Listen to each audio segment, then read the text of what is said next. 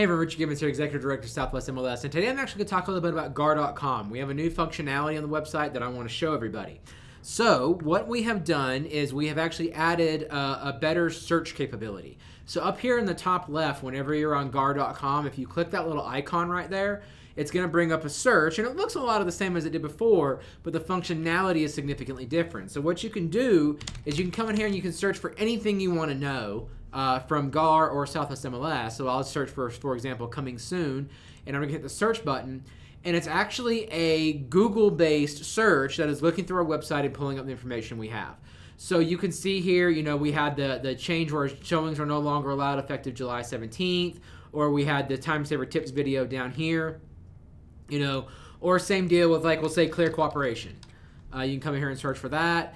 And, you know, and, and what we're doing here is um, over the years, we have put out an absolute ton of blogs. You know, so we have all these blogs, we have various pages, we have all these videos, and we have all this just massive library of information.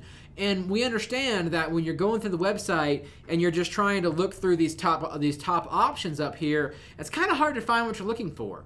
So we really want to just drive everybody to using that search uh, to really take advantage of that full library of information we have.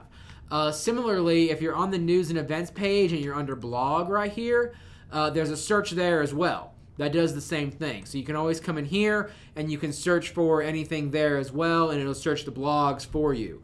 Um, so just kind of you know real quick video just to show you that new functionality we've got built into the website.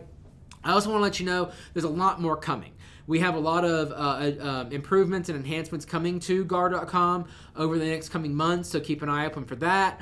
Um, you know, th- we're working on things like ways to better organize all of these videos that you see. You know, I'm up to over 75 videos at this point.